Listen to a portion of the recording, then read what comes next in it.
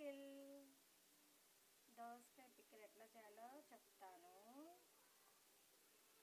కడిగి ఆరబెట్టుకున్న దోసకాయలను చిన్న చిన్న ముక్కలుగా దోసకాయలను కట్ చేసుకొని పెట్టుకోవాలి. దానిలోని గింజలను తీసి వేరే బౌల్లో వేసి పెట్టుకోవాలి. దోసకాయ గింజలు వీటిని పడేయొద్దు. దోసకాయ గింజలతో కూడా చట్నీ పికిల్స్ ఇన్స్టాంట్ చట్నీస్ ఎట్లా చేయాలో చూపిస్తా.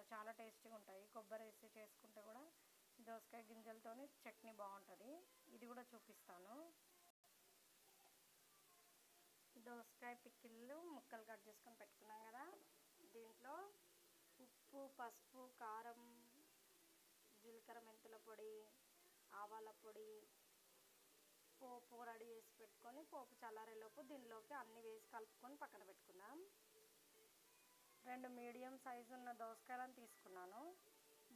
ముక్కలు చేసుకొని పెట్టుకున్నాను. రెండు దోసకాయ ముక్కలకు సరిపోతుంది ఆయిల్. హాఫ్ కప్పు లేదా కప్పు ఆయిల్ తీసుకున్నా సరిపోతుంది.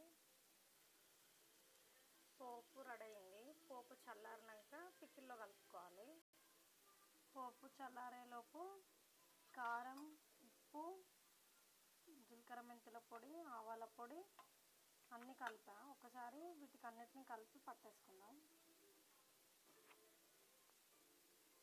కాస్త పసుపు కూడా యాడ్ చేసా. వీటన్నిటిని ముక్కలకు పట్టిద్దాం. బాగా కలుపుకున్నాక ముక్కలకు పట్టాలి. ఒక హాఫ్ అన్ అవర్ లోపు ఇది కొంచెం ఊరినట్టు అవుతుంది. ముక్కల కూరేలోపు ఈ పోపు కూడా చల్లారుతుంది. చల్లారినాక రెండింటిని కలిపి ఒక గంట ఆగి కలిపేసుకుంటే పికిల్